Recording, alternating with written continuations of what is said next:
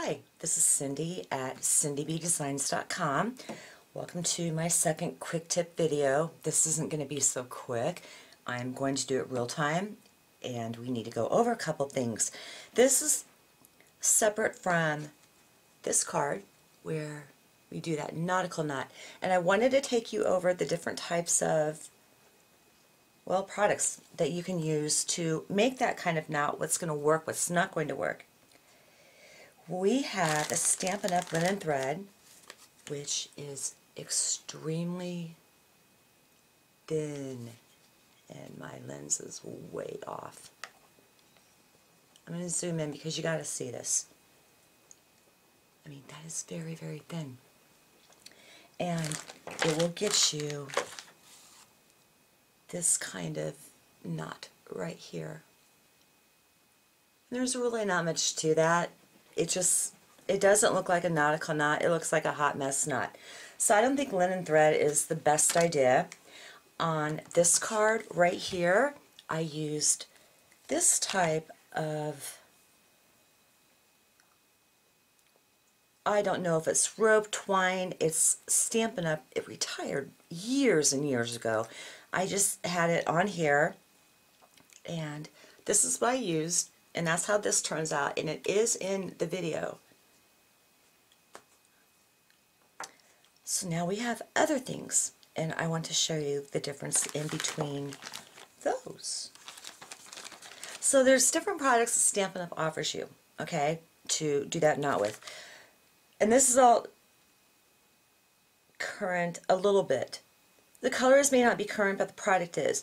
This is the Kraft rope that I really wish that I had used. This is a current product. I know about, oh, six, seven years ago, there was, I want to say a natural or more like a very vanilla. I have some around somewhere in some box. But if you have that, hang on to that too. Things like this that you don't see very often, I have a tendency to hang on to, retired or not. Then we have two different types of twine. The first one that we have is packaged individually, okay, and remember, big difference. And I'm not crazy over these colors, I just, it just came to me. Something I should have done before. Okay, this is an Emerald Envy solid baker's twine. And if you take a look at this, there's some meat to it. Maybe not too much, but there's still some meat to it. Then, remember, this is called solid baker's twine right here. Then we have the Cucumber Crush thick baker's twine. And this is where you're going to see the big difference in between both of these and this is what I recommend to use if you want some presence to your knot. I need to grab a white piece of paper. That's my dog. Okay, this one's regular baker's twine and if it's um, Whisper White and Island Indigo where they're combined, it's going to be this. But the thick, you can clearly tell the difference between both of them. And we're going to pull in that rope too. And there's the difference in between the thick and the rope. So this is what we have out in current. What I like to call specialty twine are the packs, the, the twin or trio combo packs. This one is from Christmas of last year, and this one's from same catalog, but they're combo packs. In each roll, it's going to be the same size inside. Now, what's really weird is that there's a difference in between these two. Okay, so first we have the normal size. Then we have this twin pack. Then we're going to go to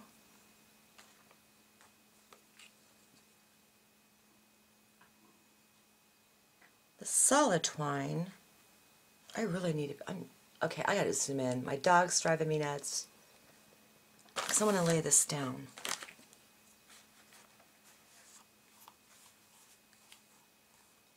Okay, regular twine, combo,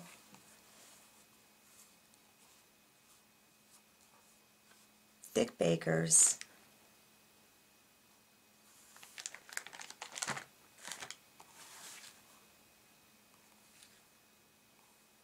and those, that's the difference in between those three. And then here is the rope. So you have four different sizes of string to work with. Actually five if you want to throw in that thread.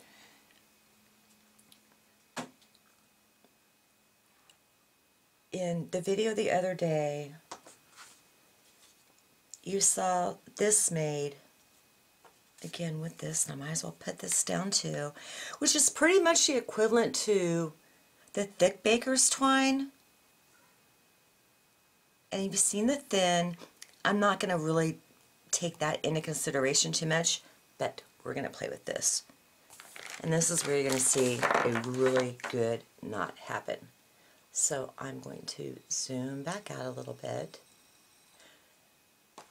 A little bit about this here, this craft is, you can unwind all of those different types of twine that I just showed you and how many strands are in here? Let me count the ways. A lot. In my left hand, I'm looking at three. In my right, I'm going to say another three. This rope breaks into three strands. And if I was to pull the thick back in, this is going to be so much fun to clean up. They're going to be the same size.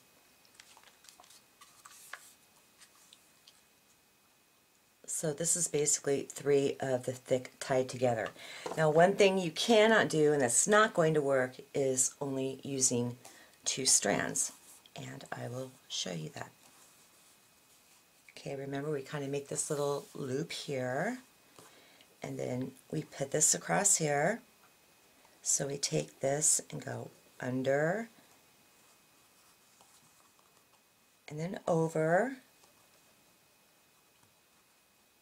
back under, over that top one there, back under, and then I'm going to pull, and you're not getting that formation, that knot we saw in my other video, which was right before this, so you don't have to go hunting for it. And I uploaded it on June 19th. So when I try and pull all this together, it's just it's, it's not working at all. It's a hot mess. We're going to toss that aside. So I've gone ahead and cut four strands of the rope. And I really hope that they're long enough.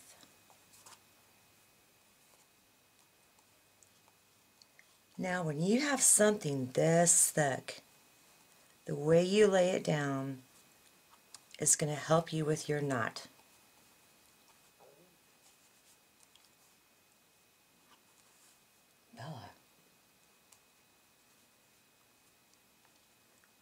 Okay, I don't have anything funky, twisty, turny there. So now I'm going to take these two and pop that on over.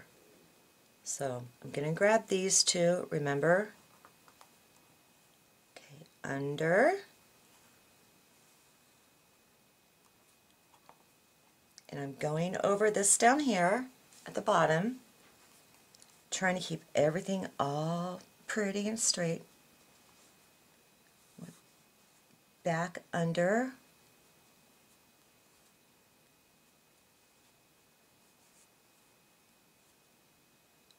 Over this. Back under. This is what you want to see. And then you start pulling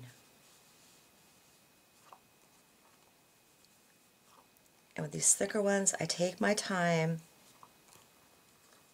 it only takes like a second or two longer. Actually, it's shorter to tie the bow than it is just, or not, not, rather than just to throw it together and hope for the best. So I'm going to zoom in a little bit more so you can see me play.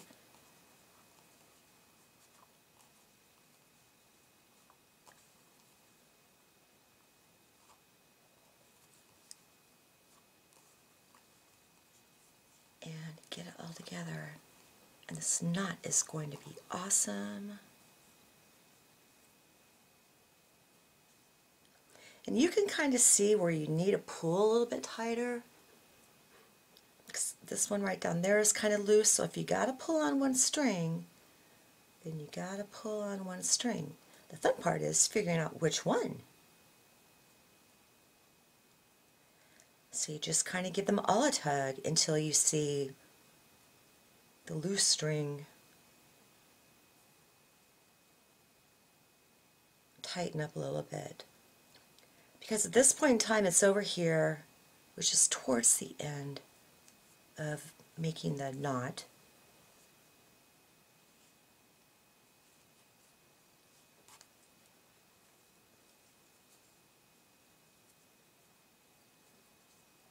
And if you tug it too hard like I just did loosen it up.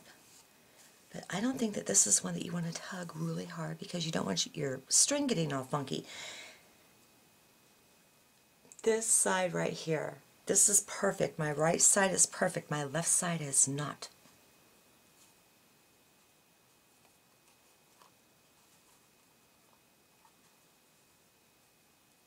So I'm going to flip it over and make sure that that was my problem. I had this going over this way instead of this way because here's the other side of it. So you got to check both sides as you're doing this.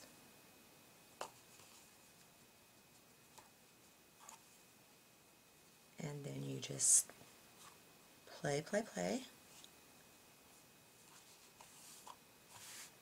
And I am done. And that, my friends, is our nautical knot. Turn out very cool. It's very substantial. I am going to grab the back of this. It's a full-size card front, five and a half by four and a quarter. So I'm going to go with the four and a quarter side up top. And when I lay this, it's pretty substantial.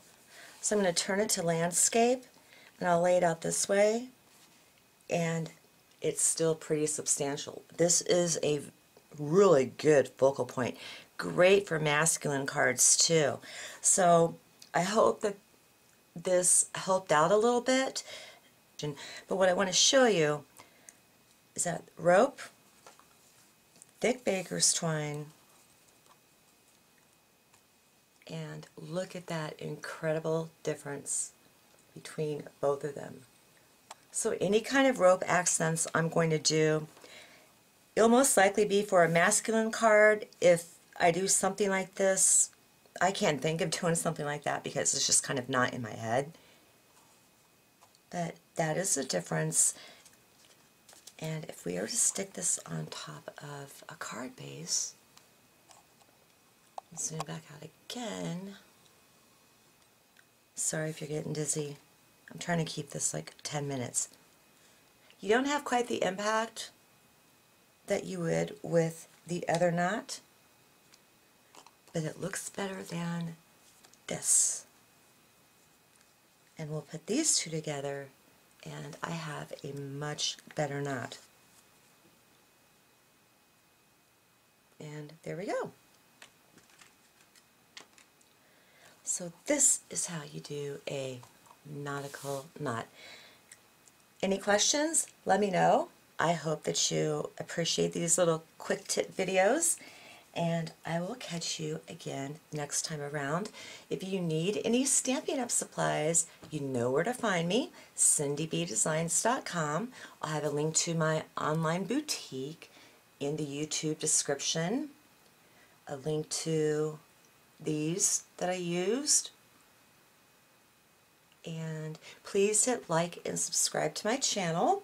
I would really appreciate that and I always appreciate you contacting me, whether it be email or through the contact form or something like that. It, it's just very nice.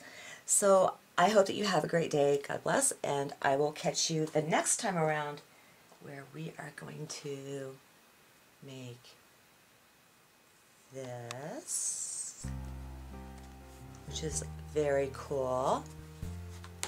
And you open it up, and it is a notepad. And I stamped all those little cute things on it. And then there's a pocket in it that I made too, where you can slip things inside. And I have a little clip on the front. This is just decoration, but this is a great place to hold notes, or you can just go ahead and like pop it on the inside of there. These are also fabulous t-shirt gifts to give at, I think everyone's out of school now, but they're going to go back in six weeks anyway. and this would be like a great new teacher gift. So now I'm really going to stop. Thank you so much for watching. I will catch you again the next time. Have a great day. Bye.